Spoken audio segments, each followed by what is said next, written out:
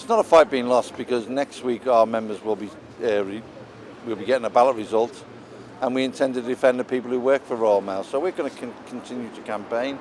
We want be, this to be the shortest privatisation ever and we continue to fight. I think it's something the British people don't want. 70% of people uh, don't want this privatisation when they're being polled across all the political parties.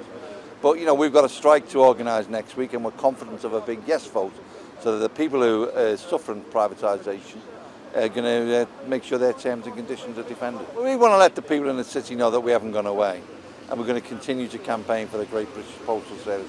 It's a great shame what's happened today with this privatisation. You know, we're here in the uh, Singapore Sovereign Wealth Fund has bought shares in uh, Royal Mail, as has the Kuwait uh, Sovereign Wealth Fund. So, you know, you've now got the situation where Kuwait's got more influence than uh, the British public on their postal service, that's an outrage. In these austere times, you know, it's a quick way to make a fast buck, but it's no way to run a postal service. You know, Vince Cable is responsible, clever man, but responsible for one of the stupidest decisions ever made by a British government, that's the privatisation of Royal Mail.